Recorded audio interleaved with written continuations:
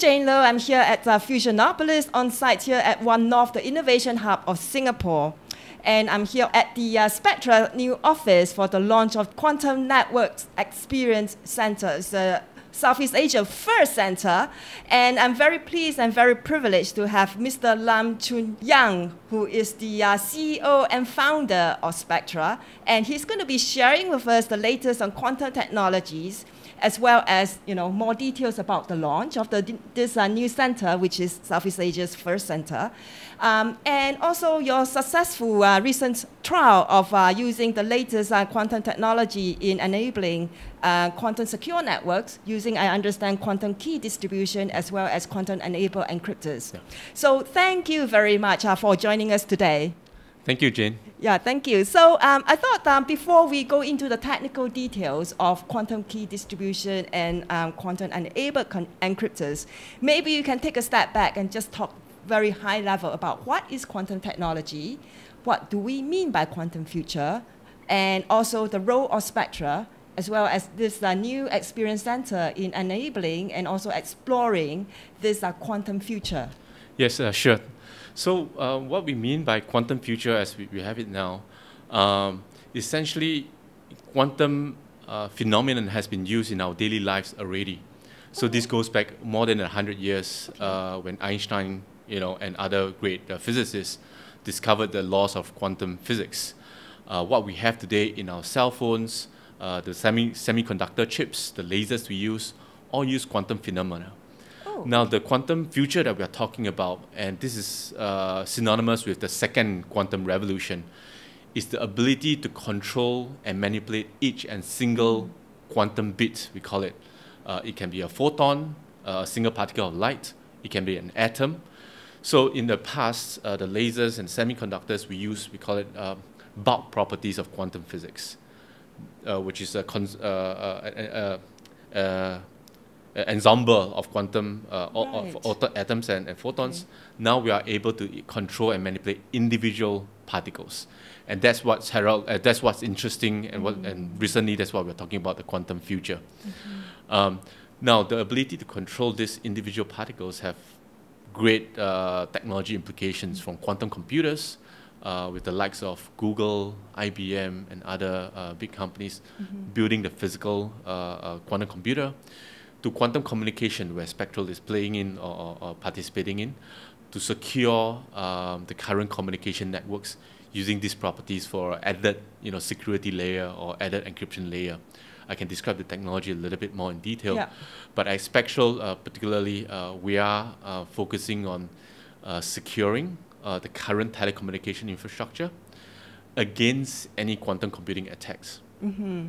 So now, the, uh, with a large enough quantum computer, uh, you can do many interesting things like uh, solving optimization problems for financial industry uh, and so on and so mm-hmm. forth. Mm-hmm. But one of the things that a quantum computer can do uh, is essentially it will break all the encryption, almost all the encryption oh, algorithms yes, that's that, right. that yeah. we have we, today. We, we want to talk about that later. Yes, yeah, yes, yes, yeah, yes, yeah. yeah. So all the quantum threats that uh, quantum technology um, uh, may introduce in the future, right? right okay, right. Right. So this is part of the quantum future as yeah. well that we're talking about. That's okay, right. Okay. Um, yeah. So for this, uh, tell us a bit more about this uh, new experience center. Oh yes. So. Um, I think the observation is that by and large, the general industry still have a lot of questions about what uh, quantum key distribution or quantum communication is about. Um, uh, they're uncertain about the, the technology, about the threat that's, uh, that's upcoming. So with this uh, Quantum Networks Experience mm. Center, or QNEX in short, we hope to uh, inform the general industry about uh, the technologies that's already available today, the threats that's coming, and ways to implement mitigation strategies by right. implementing solutions okay. to keep their communication and data more mm-hmm. resilient mm-hmm. today and also in future against any potential uh, quantum computing attacks. Well, sounds like an exciting uh, uh, place that uh, the public can uh, also explore as well if they want to as well. Uh, yes, I think we'll, we'll be open to that on, on a case by case basis. Oh, right. Yeah. Okay, okay. yeah, I look forward to that. Um, yes, so earlier you talked about or rather, I, I introduced quantum key distribution, and you started to talk about a little bit of the uh, technical details behind it. So, can you tell us about your, you know, recent successful trial of, you know, securing uh, fiber networks? I believe using quantum key distribution as well as quantum enabled encryptors. Can you tell us a little bit about the details behind it? Uh, yes, definitely. So, uh, quantum key distribution is essentially a method to distribute very, very securely uh, using quantum physics uh, encryption keys that can be used to secure or encrypt uh, any telecommunication or, or, data that we transmit to each other. So for this particular trial, we partnered with SPTel, which is a joint venture between ST Engineering and SP Group, um, and also ST Engineering. Um, so within this trial, we demonstrated uh, um, quantum key distribution using Toshiba's QKD devices QKD uh, meaning uh, quantum, quantum key, key distribution, distribution, Yeah. Right. Uh, QKD devices to enable the encryptors of ST Engineering to secure the entire link from mm. end to end over 55 kilometers. Mm-hmm. Now, this has very interesting uh, impact uh, for SPTel's uh, telco business in the sense that it will enable this um, high capacity data center in- interconnects solution that they have. So essentially, if a user comes on board uh, the telco network, they could secure their communication while it's in transit against uh, any future uh, quantum computing attacks. So, uh, so we'll touch on this. Uh, we'll go a little bit more detail into this 50, the significance behind 55 kilometers, because I understand that ph- photons, yeah. right, uh, the uh, ability for them to hold their proper properties uh, uh, slowly sort of dissipates over yeah. some distance. Correct. But before we do that, can you just briefly tell us, you know, how different is using quantum technology to secure fiber networks? How is, how, how is that different from the way we are securing fiber ah. networks today? Right. So today's uh, encryption uh, uh, primarily uses a mathematical based algorithm mm. Uh, to, to either exchange keys or to sec- secure the communication. Now, this mathematical, uh, whenever it's a mathematical based algorithm, there's certain structure behind it. Mm-hmm. And uh, essentially, in the 1994, uh, there's a physicist called Peter mm-hmm. invented an algorithm, a quantum algorithm. Oh, Shor's algorithm. Shor's right, algorithm. Right. That's right. That's yes, right. Yeah. That coupled with a large enough quantum computer mm. would be able to break this type of mathematical uh, structure. Mm-hmm. And that's the threat that we are talking about, right? The quantum computing threat. Um, so today's encryption uh, algorithms, in light of uh, uh a quantum computer mm-hmm. and Shor's algorithm, wouldn't be safe anymore. Uh, by using quantum key distribution, uh, we are literally trans- embedding right. the secret keys okay. into single particles of light and transmitting it across right. fiber optics see, cable to the end users. Right. So we don't need the mathematics anymore. Yeah, not, right. not with this structure. Oh, that's uh, difficult to imagine. Um, so much of the public key cryptography is based on this uh, mathematical sort of uh, encryption uh, approach. So yes, so let's talk about the 55 kilometers. So what is the significance of 55 and how are we going to expand or will we extend that distance? Yeah, so uh, the target of 55, I mean, it's a, it's a chosen target. So within Singapore, uh, I mean, to the, um, the width of Singapore is mm-hmm. roughly about 40 plus kilometers. The fiber goes obviously a different route, but within the 55 to uh, up to even 100 kilometers, that can be addressed by using uh, we call it fiber-based QKD uh, devices or okay. solutions. So these uh, photons will be sent down uh, optic, uh, sorry, uh, fiber optics that is already currently available on the network. Okay. for example, in SPTel's network, we are leveraging their currently deployed fiber optics. Mm-hmm. Um, so within this uh, distance, I think we are confident to cover any two locations within Singapore, right? So that's the significance of why we, we are targeting at 55. Um, plus and minus, obviously, we can go more. Yeah. Um, um, the, however, I think uh, if you talk about international connectivity, mm, so communication between Singapore to London or to New York, we cannot send uh, the photons mm-hmm. uh, or do fiber QKD across long distances because the, the quantum properties would degrade over mm-hmm. distance and th- there'll be losses.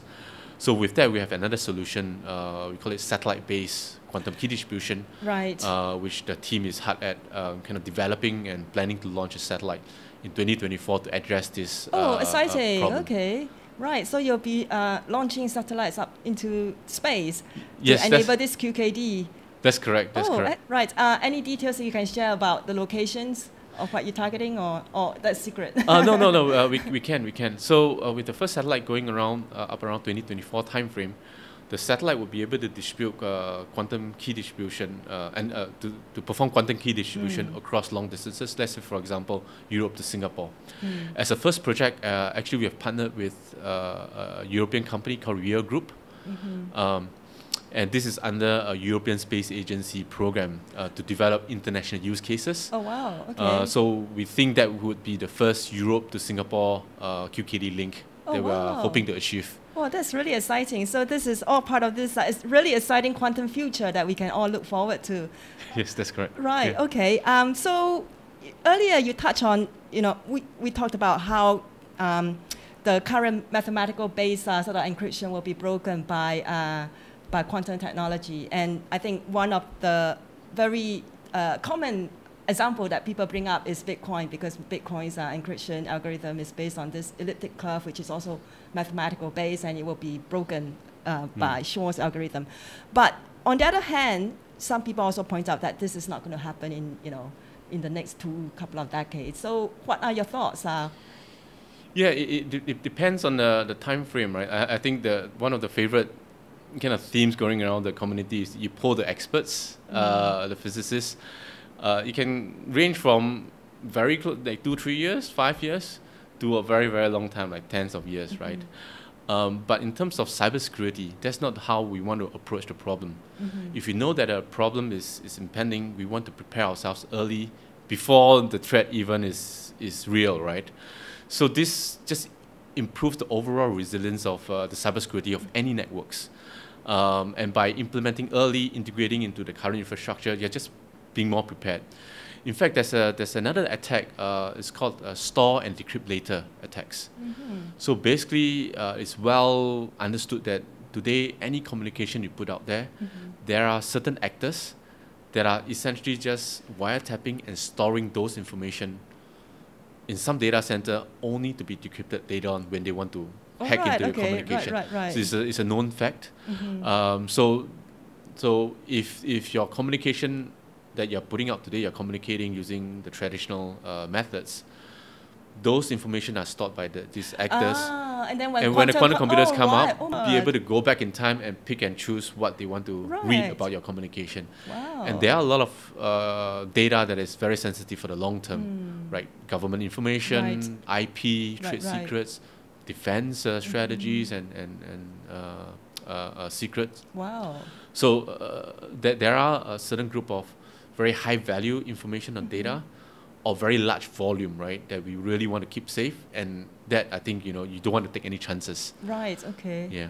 Wow. Okay. Well, this is uh, thanks for thanks for bringing that up because I think that will really put people onto you know uh, to to start focusing on how important really encrypting the data is, um, especially personal data. We we share a lot now on so many different platforms, so it's very important that we ensure that it's uh, encrypted with not just the latest but also with uh, eye to the future. And um, so one last question. So you talk about satellites in 2024. So beyond that, can you share with us what your plans are for the next uh, coming decade? Yes, yes. Um, so beyond the first satellite, uh, we are already planning um, a constellation of satellites Oh, uh, okay. that will orbit around the Earth. Wow. And this would be depending on demand. Depending on the demand, we're observing that. As the, the demand picks up, we will be launching more satellites to form a constellation. They will optimize the delivery of uh, QKD solutions to, to users. wow. Right, so that's over the uh, five to eight years uh, time frame. But overall, when, I, when we talk about the quantum future, right, uh, I want to also just make a point that we are still very early on in that evolution. Um, um, so the, the, the future, maybe you've heard of, you know, quantum internet or quantum networks.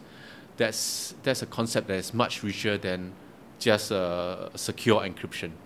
That is about how to enable two quantum computers to communicate with each other uh, through a quantum network, and that has that brings about you know many many new unimagined applications uh, yet, right? So SpeQtral, we are also having our vision or sight on those uh, the, the quantum internet in the future, so building the the core capabilities to enable us to address those opportunities when it arises.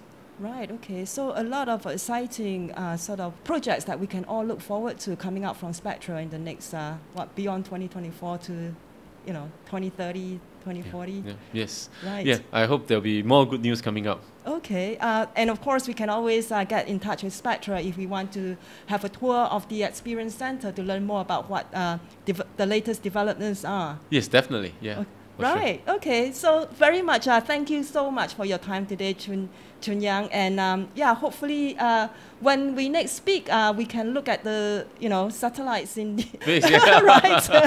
That's right. Thanks a lot, Jane, for, for taking the time. Thank you. Thank you.